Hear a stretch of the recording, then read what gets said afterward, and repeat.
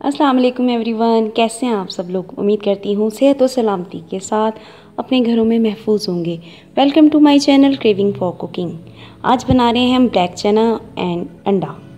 अंडे छोले का सालन तैयार हो रहा है और मज़ेदार सा है सिंपल सा चले इसको बनाते हैं। सबसे पहले मैंने क्या किया? कढ़ाई में मैंने ऑयल डाल लिया।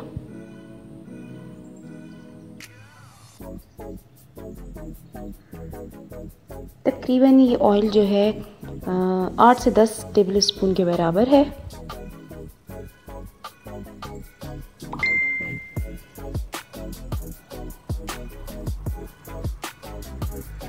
अब इसमें आपने दो तेज़पात के पत्ते डालने हैं और इनको थोड़ा सा फ्राई कर लेना है। ऑयल बहुत ज़्यादा गर्म नहीं होना चाहिए। ऑयल बहुत गर्म हुआ तो ये पत्ते फ़ौर ही जल जाएँगे। तो हमें इन पत्तों को जलाना नहीं है। हमें इनका अच्छा सा टेस्ट चाहिए। इसका बहुत अच्छा सा अरोमा आता है। तो चलिए इसको फ्राई करते हैं।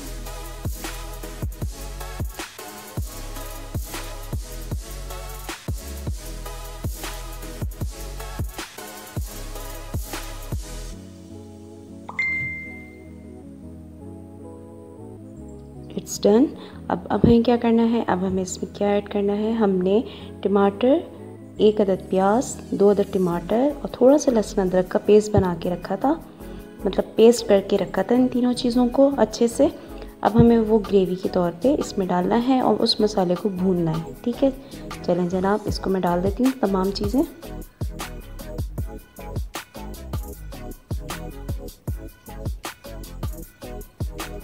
प्याज पिसी हुई है तो ग्रेवी बहुत अच्छी सी बनेगी। हमें बहुत सालन की तरह नहीं बनाना है, पतले शोरबे की तरह। थोड़ा सा हमें गाढ़ा रखना है तो हमने इसलिए प्याज की, प्याज का इस्तेमाल किया है ताकि हमारे पास एक अच्छी सी ग्रेवी आ जाए। तो इसको अच्छे से भून लेंगे मसाले को, ताकि प्याज का जो कच्चापन है वो भी निकल जाए और आपका मसाला बेहतरीन भून जाए।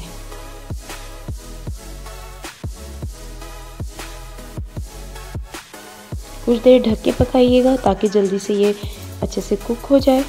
तो देखें, ये मैंने इसको कवर करके पकाया था। तो इसकी कुछ इस तरह से शक्ल आ चुकी है। मतलब इसका पानी सूख चुका है, मसाला ऑलमोस्ट भुन चुका है। बट अभी थोड़ी सी कसर रह गई है तो इसमें मसाले ऐड कर लेते हैं झटपट। तो मसालों में क्या है? नमक है, हल्दी है पिसा हुआ ज़ीरा है, पिसी लाल मिर्च है पिसा हुआ धनिया है, ठीक है? चलें जना आप इसको हम इसमें ऐड कर देते हैं। इसको ऐड करने के बाद इसको फटाफट भून लीजिए। अच्छा आप अगर साथ ही मसाले डाल देते ग्रेवी के साथ ही, जैसे जिस वक्त आपने डाला था तो क्या होता, आपके मसाले साथ साथ भून के उसका कलर बड़ा अजीब सा हो जाता चेंज सा हो जाता।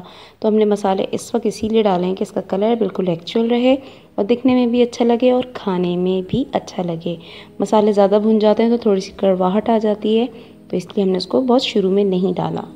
तो चलें, इसको अच्छे से भून लेते हैं।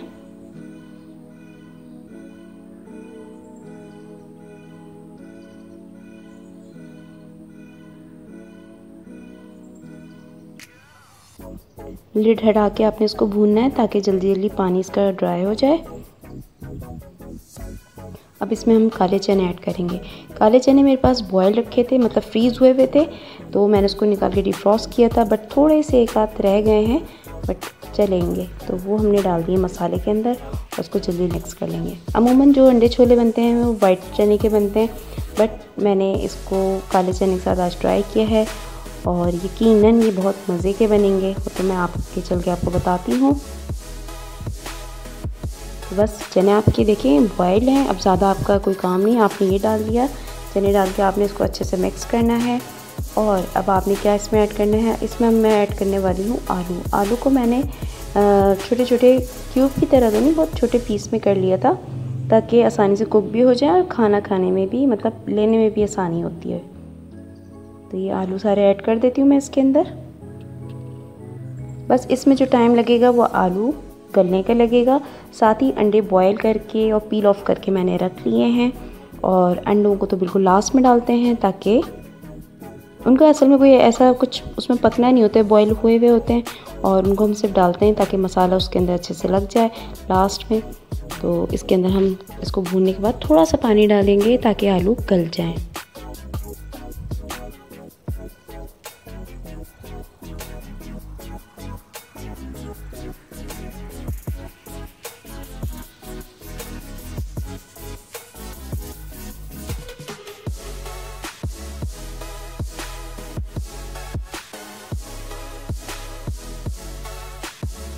बस आलू डालने के बाद लिट कवर कर दिया और उसके बाद देखें, ये अंडे मैंने इसमें शामिल कर दिए थे, आलू गल चुके थे। और इसको अंडे शामिल करने के बाद आपने थोड़ा सा इसको मिक्स कर लेना है अच्छे से और बिल्कुल थोड़ा सा मैंने तकरीबन एक कप के बराबर इसमें पानी डालूँगी शोरबे के लिए। और फिर ये आपके तैयार हैं। बट अभी रुकिए, इसमें और चीज़ें भी जानी हैं, क्यों इतनी जल्दी है?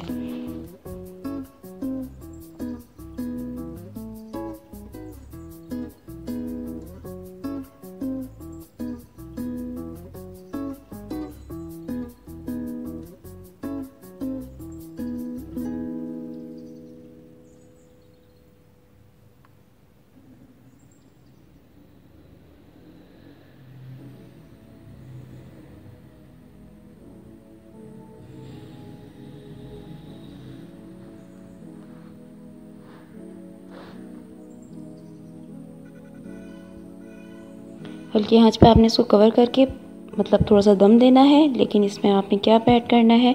अब मैं इसमें थोड़ा सा ऐड करने वाली हूँ। थोड़े से कड़ी पत्ते हैं मेरे पास थोड़ा सा हरा धनिया कटा हुआ है और थोड़ी सी हरी मिर्च। लेकिन उससे पहले एक चिकन क्यूब भी ऐड कर देती हूँ ताकि टेस्ट थोड़ा सा और दुबाला हो जाए। ऐसा लगे कि आप अंडे छोले नहीं चिकन छोले खा रहे हैं। तो चलें, उसको भी ऐड करने के बाद थोड़ा सा मिक्स कर लीजिए।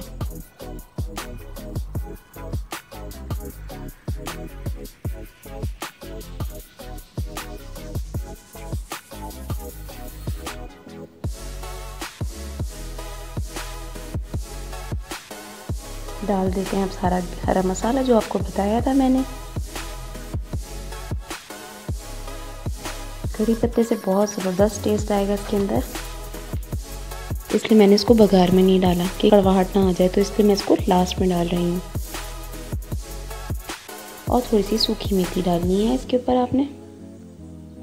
ये ऑप्शनल है, आप डालना चाहें तो डाल लीजिए नहीं डालना चाहें तो नहीं डालें बट आप लेंगे तो ट्रस्ट नहीं, बहुत मज़े का लगेगा ये।